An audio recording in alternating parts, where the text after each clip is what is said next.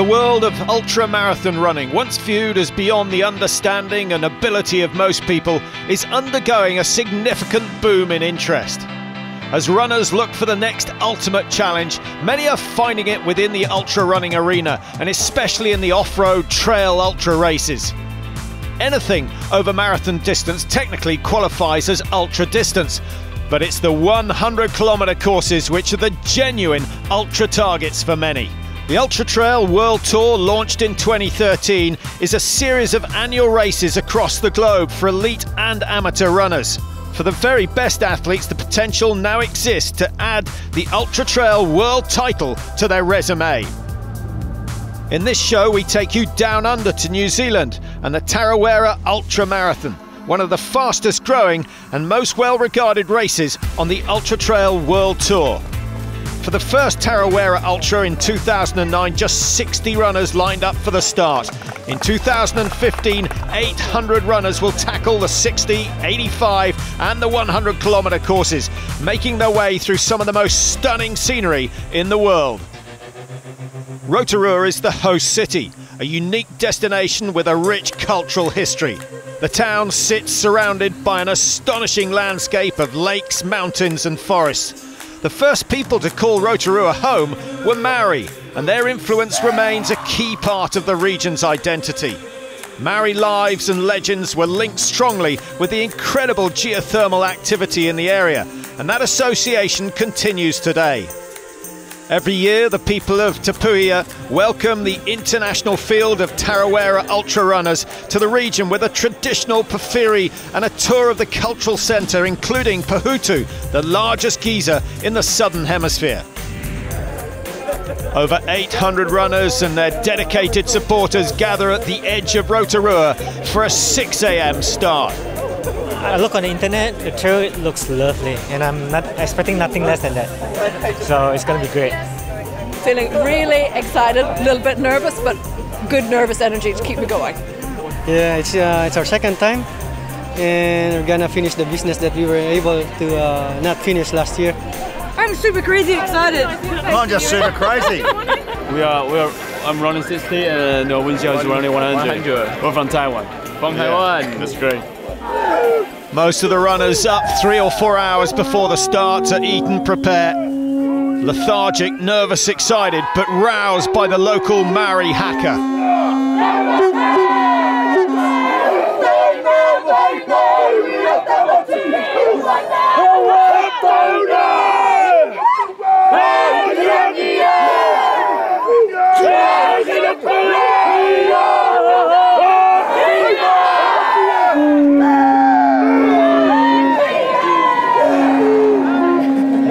Picas too experienced to be relaxed at this stage.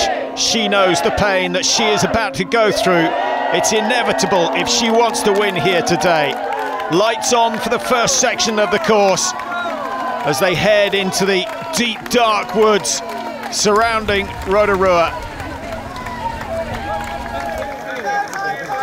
The elite athletes all getting the privilege of starting in the front and they really have gathered a very strong field this year in the women's alone.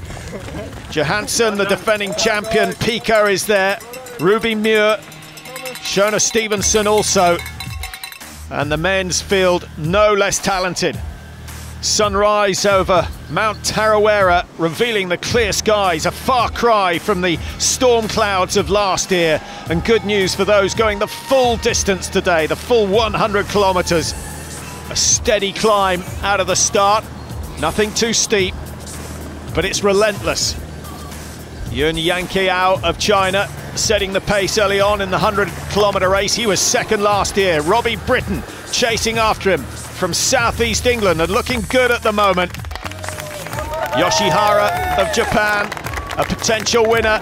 And the two Americans, Dylan Bowman in blue and Jorge Maravilla, his training partner. Ruby Muir looking to become the first woman to win this event twice. And there's Spain's Nuria Picas, who will certainly provide some tough opposition. The Blue Lake at 10 kilometres, the first of many stunning stretches of water that they'll pass on the way. Kerry Suter two time winner of this event, today running the first leg of the relay and leading the way in the early stages. Yun and Mortis arriving at the Blue Lake together. Now, Yun is going 100k, Mortis just 60. I'm not sure the Chinese athlete is aware that his partner at the moment is going the shorter distance. This pace is fearsome for a 100 kilometre race. Last year's winner, Sage Canaday, said efficiency of running is absolutely key in the Tarawera race. The change of terrain, so challenging. Ruby Muir seems to be coping pretty well. She's the leading woman at the moment. There she is, going through that right knee bandaged, a really severe injury last year, ripping one of her quads away from its tendinous attachment. And many surprised to see her here. Many more surprised to see her leading at the moment. Shona Stevenson of Australia just a couple of minutes behind, so a good solid pace being set by, by her. And just behind her, Nuria Picas of Spain, a world title already to her name. She's going to try and climb the fifth highest mountain in the world in May. Yun of China still pushing the pace in the men's race with Robbie Britton in second place. Feeling good, man. Some sick trails. It's just good fun. You boys all right? I thought these other guys are going to chase the little Chinese guy too, but no one come with me. Oh. Jorge Maravilla, third in the 100k race. Beautiful country, beautiful people. Coming up to the 17.8 kilometre stage, just over an hour 20 gone. The pace very, very fast up front. From Okareka and the food stop, the trail follows the western Okataina walkway. And at the back of the pack at the moment, although ahead in terms of achievement and admiration, is Ian Hode of Australia. Mid 70s, he's doing the 60k race and hoping to crack the 13 hour mark. Ian already three hours behind the race leader, Yun Yanqiao of China, who's approaching the 37 kilometre mark and he's going to be just over two hours 48 minutes. Now with three big 100k wins to his name this year Hong Kong, Beijing, Yishan. He's every right to feel confident, but that initial pace really was suicidal and it certainly slowed over the last 5k's or so. In he comes to the food stop, plenty of support, just a little bit too frantic.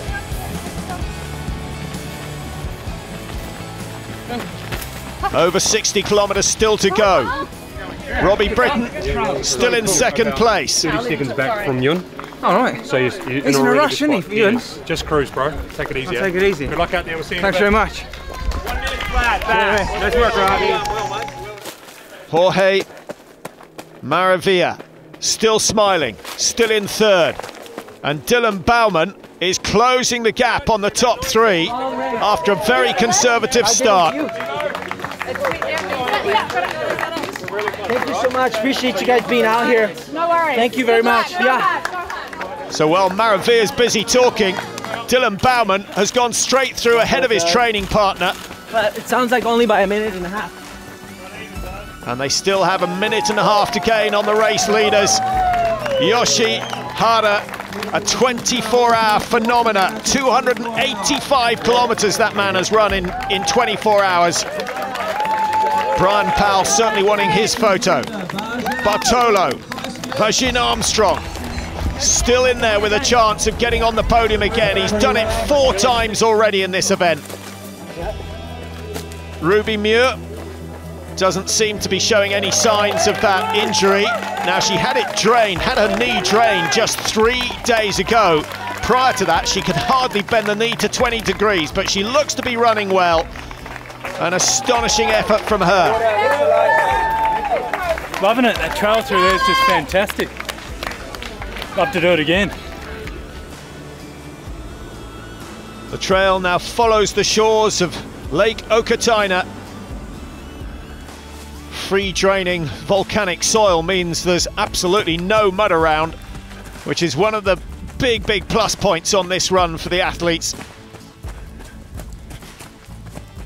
But it's still a very technical run. Dylan Bowman seems to be pushing the pace. Mike Wardian from USA, he's back again. Really disappointed that Hurricane Lucy disrupted the plans for last year.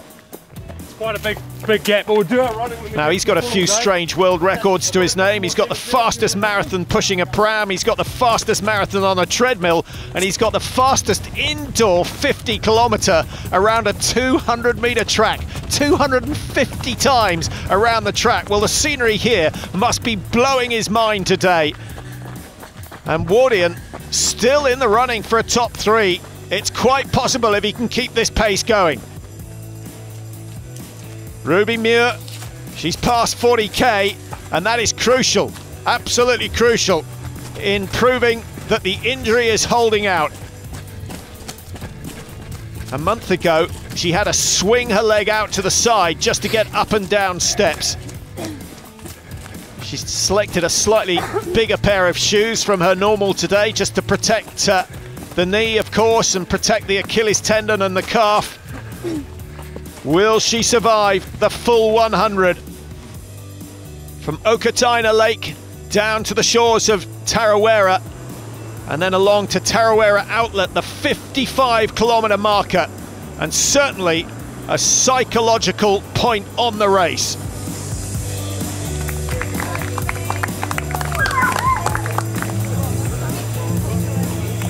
We're not doing too bad at the moment. Just taking a five minute breather at the 55k mark, a bit of feed and a bit of pizza. It's gone well. I'm happy. It's the most beautiful country. Really cool. but I'm so looking forward to Sunday morning. Oh, I'm going to enjoy Sunday. Thanks very much. Got my crew at uh, at the falls, so looking forward to seeing my family and changing my shoes and uh, smashing out the last 40. Well, that last 40 will take the best just a little over three hours. It is very, very tough. But the trail accompanies the river all the way, providing welcome distraction for the runners. For those who can look, they'll see translucent water working its way through the gorges, down sumps, over cliffs, and into emerald green pools. It really is a stunning, stunning river as it works its way down to the 65 metre Tarawera Falls. Now, that will be the end of the road for the 60 kilometre racers, but for the 85 and 100, it really is the start of phase two. It may be downhill geographically, but it's downhill as far as their bodies are concerned as well. For those that have done the full 100 kilometre distance before, they know that this is where the race becomes psychological rather than physical. And for those who haven't, they're about to find out. I'm okay. My legs are getting pretty tired. I think I've got a lot of energy, but I, honestly I don't know. It's going to be that last 40 k's. It's going to be the real test. But I mean, here at the outlet, this is the turning point in the course, home is that way, and I've got to get there. See ya.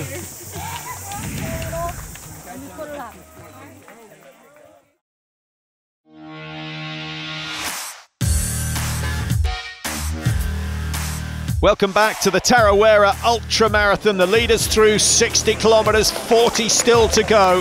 The race has a new leader, Dylan Bowman of the United States, and his time is very impressive. My understanding is the record's 520s in the 520s, and he's just come through here in 445, which for 60k, 400, 445 is ridiculous. Go Debo, you're strong, son. So Dylan Bowman has really turned the pace up between 37 and 60, and he's dropped his teammate Maravilla. He's 11 minutes ahead now. He's gone past Robbie Britton. He's gone past Yun Yanqiao of China, who set the early pace. Jorge Maravilla into the food stop, and you can see the urgency in his body language. He cannot afford to let that lead open anymore if he wants to win today. Yun taking on as much food and drink as he can. A sign, perhaps, that he pushed too hard too soon. The next stage working its way through the pine forests that surround Kawerau, their final destination. Yanqiao now struggling desperately as he sees Britton going ahead of him. And now, of course, they approach one of the toughest parts of the course, not just because of the climb. It's known as the Loop of Despair. You want the water? Yeah. Okay. Hey, are you going to be here? I could stay here till you're back, yep. Yeah, I want to just. I need an exact split when I get back here. Okay, no problem. No problem. Race director Tim uh, Day has been tasked. And now I got this big last climb. Yep. And it is big climb, and it's the steepest climb of the whole race.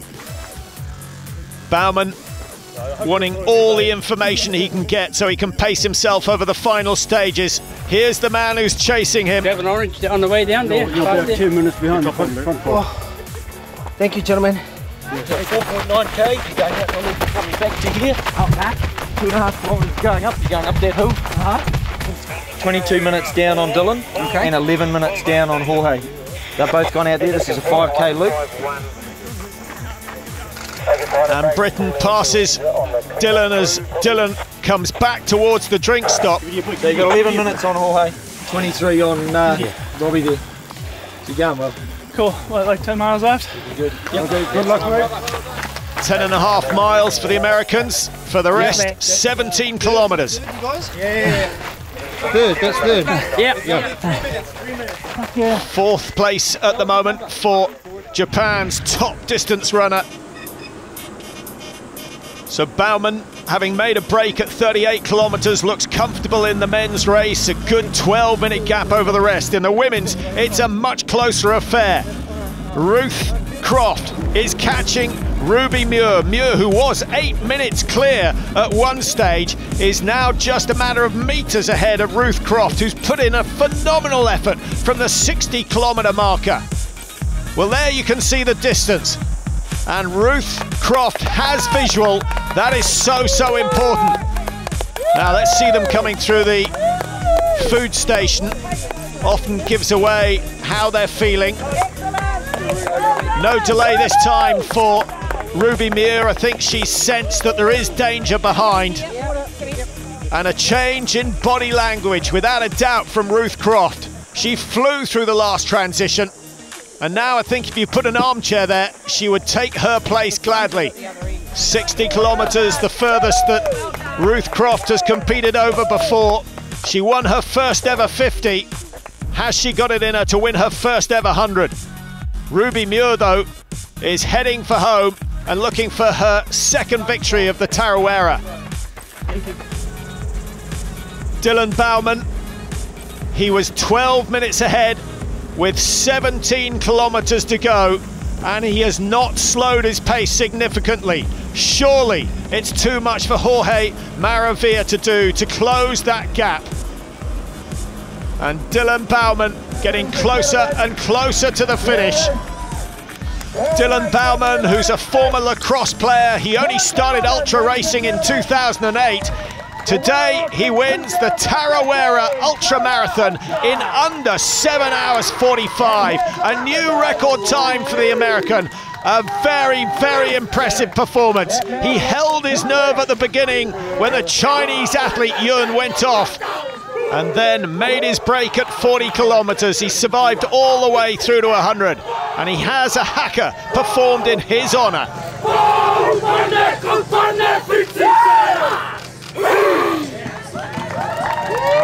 Think I may have gone a little bit too hard right when I took the lead. Um, and uh, as a result, I don't think I finished as strong as I probably could have. But how can you complain? I'm, I'm super happy, super happy. And second place, Jorge Maravilla, the training partner of today's winner. Anyone who's listening to this from around the world, you got to come do Tarawera 100K. It's one of a kind, and I highly, highly recommend it.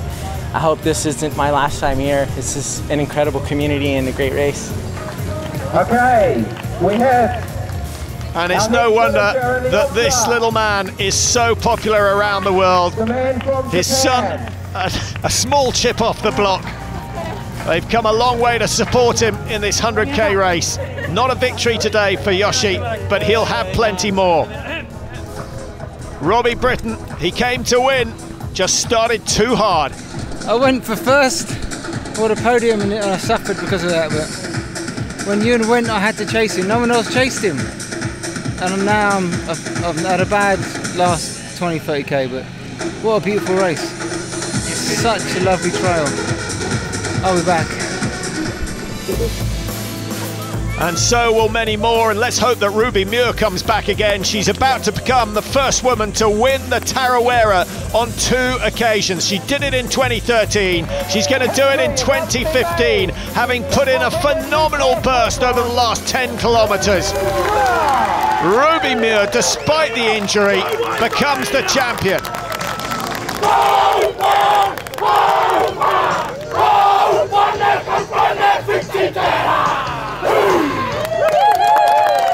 I guess it's the hardest race I've done. Just at 10 k's out, Ruth Croft came directly parallel to me, and I was in a really dark place. It was about, yeah, the worst I felt. My thighs were sore, my calves were sore. I wanted to walk, but I just had to see her beside me and found something I didn't know I had, and finished far faster than I expected. An unbelievable 60 to 90 kilometres from Ruth Croft. She caught her rival, but couldn't stay with her over the closing stages. And the challenge from Nuria Picas never really developing, but she still takes third place. Another great run from her. I felt a lot of tired at the beginning of the race, and I did all my best to finish the race. So I'm very happy to be here to finish the race, and of course to be the third woman to cross the the, the end because it's really a miracle for me, sure. so I'm very happy. So Bowman takes the win in the men, 7.44.58 a record time. Maravilla cramped at 60k but hung on for second. And Yoshihara, sometimes he's good, sometimes he's bad. Today he was excellent. Ruby Muir winning the women's event 902.45. What is she going to do when she's fully fit? Holding off the challenge from Ruth Croft. And Maria Picas of Spain in third place. Well, it's no wonder the numbers have grown and grown and grown. One of ultra running's spectacular events. Some come to win, most come to survive the distance and soak up the scenery. This is a race that no one forgets.